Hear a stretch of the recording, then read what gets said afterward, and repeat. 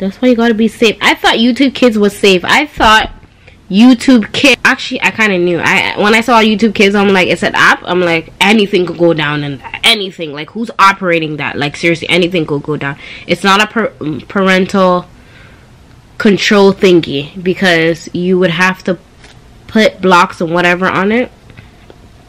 It's just that it's only YouTube Kids stuff, but apparently they said you could they could search adult stuff on there because it's YouTube. It's an app. You know what I mean? Like this is scary. Wow. Apparently, people are doing the moo the mumu. Hear me, mumu. People are doing the momo challenge on YouTube as well, but that's stupid. Like how they're actually doing it. Um, there's a new thing that apparently Momo is on WhatsApp. Thank God I don't have WhatsApp. This is one of the reasons why I, have WhatsApp. I don't have WhatsApp as well because sorry, I keep moving. WhatsApp has your number. I don't want everybody everybody has my number, right? But like let's say me and you work together. I just want you to have my number. I don't want you to have none of my social medias or whatever. That's basically what WhatsApp has. So once you're on WhatsApp, it has all the all your information okay it has your number whatever. So as soon as the person has whatsapp they're automatically added. So whatever update you make or whatever picture you post they're seeing all of that. They're seeing your side. I don't want them to see my other side out of work. I'm just friendly whatever at work. But other side like i'm whatever. I could be turned up on whatever party mm, I don't party that much, okay? I do party. I'm gonna admit to that, but I don't party that much. So like when I do other stuff, I don't want them to see. Like, what if I had a boyfriend or something? I don't want them to know. You know what I mean? Like, so in this video, I'm gonna show you what exact. I mean, about the Momo challenge thingy. Like how they're messaging. What is it called? Momo on um, Instagram. Not Instagram. Sorry, WhatsApp. And if this doesn't explain more, I found another video on YouTube that I could post. Well, right here in Colorado, parents are warning each other about a new game targeting people with suicidal tendencies. The newest trend seems to be known as Momo. The image has been going around social media for the last few days. Video calling Momo right now, guys. Video calling Momo. okay. Momo is a nickname given to a sculpture of a young woman with long. This is a sculpture Long back hair, large bulging eyes, a wide smile, and bird legs. Pictures of the sculpture are associated with an urban legend involving a WhatsApp yeah, that sounds phone scary. Number. This sounds like the Juju board. What is it called? The Ouija board. Link to a game referred as the Momo Challenge or Momo Game. What the frick? Oh my gosh!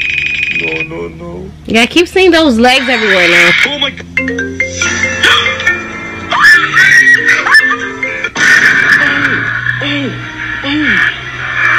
That looks like a person. Yo, I'm not hungry no more. My stomach has been stuffed up. Why are you saying that you kidnapped me? What's the problem? What did I ever do to you? I did not do nothing to you. Of course it's a black guy. What the hell are you saying? I don't even understand your language. What the hell? What the Here's the first clue for parents to be concerned with the image of this Japanese statue of a woman with bulging eyes oh, and scary features. Here's how this dangerous challenge goes users start communicating with Momo on Facebook or WhatsApp, oh. a free messaging service. They're given a series of tasks to finally meet the Momo, and those tasks start off small but then escalate quickly to violent acts with photos for proof. Allegedly, an unknown number called Momo is currently appearing in contact lists. The corresponding profile picture is the creepy face of a woman. Not only does Momo appear in your contact list, it also sends you messages. Some have also received photos or even voice messages in which a distorted voice speaks to them. That face? Reports of scary encounters with Momo have been accumulating on the internet. Where they're contemplating very dangerous situations for themselves.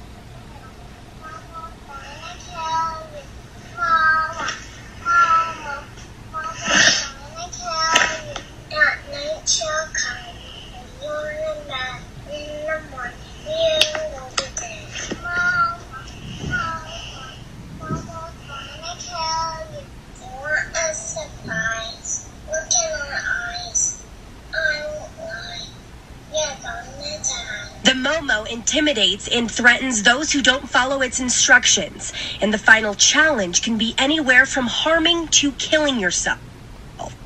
I have Mo challenge or Wow. This is so scary. Sorry, my eyes hurt.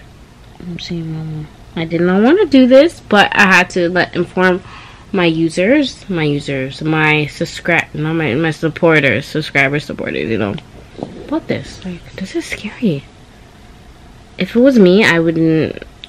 That pop up, I would never go on YouTube. I would hate YouTube for the rest of my life if I saw that. Apparently, it's a hoax. So if it's a hoax, why does it keep coming back? I have never seen it pop up at me, but if it does, I'll be so mad. Oh, I'll be so mad. No. Mm-mm. No, no, no, no. Why? So, I encourage you, none, none of you guys to do this.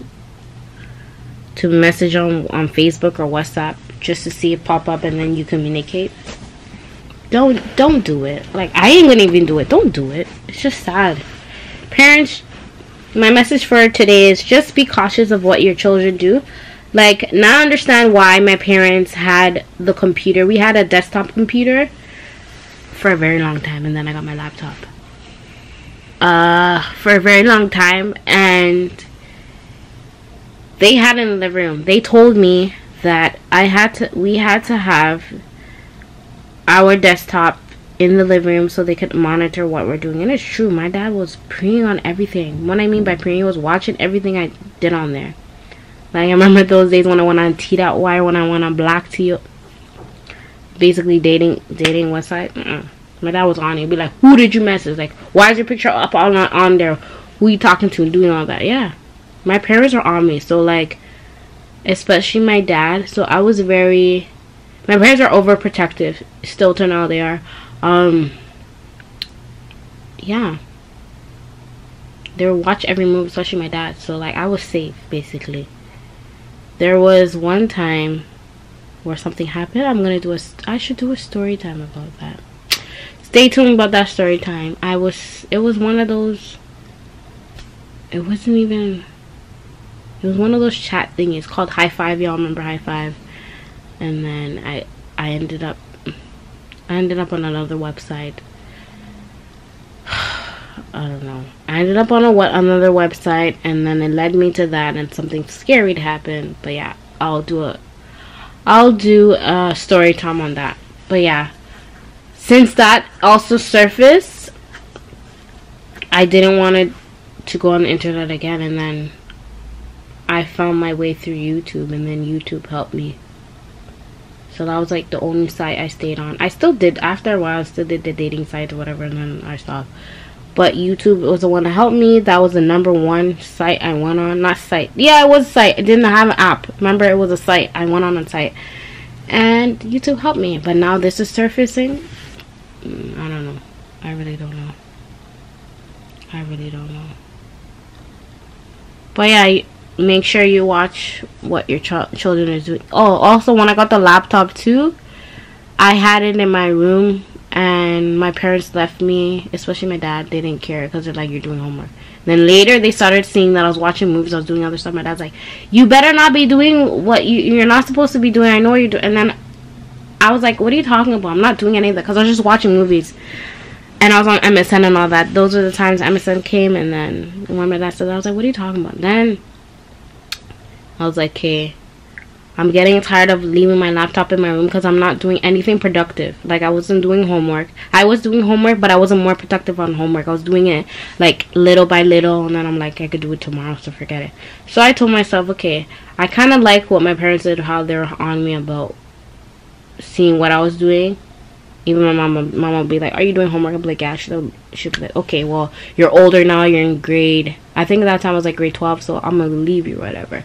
So I said, "Okay, since they're a little bit less on me because they trust me, no, I should just bring it out." So when I brought it out to the living room and did my stuff, they're just like, "Why are you here?" Like I'm surprised. So I said, "No, I want to be more protect, more productive on my homework and all that." So yeah, I brought it out, and now is when it started. Every little thing they would watch. Even pop-ups came like scare people like, "What did you just do?" No, I'm like, "I didn't do nothing." So whatever I did on the laptop, they would always watch me. So yeah, my parents helped me out a lot.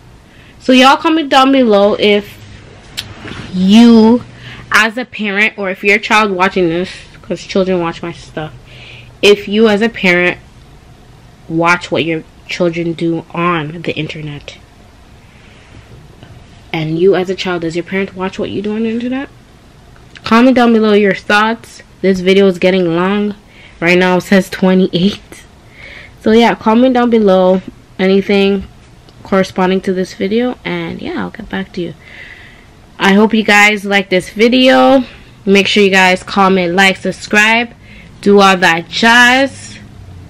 Make sure you hit the notification bell too. I don't think I said it in the beginning of the video. At, at the end, uh, at the beginning of the video. So make sure you guys do all that jazz, and I'll see you guys in the next video. Okay, bye.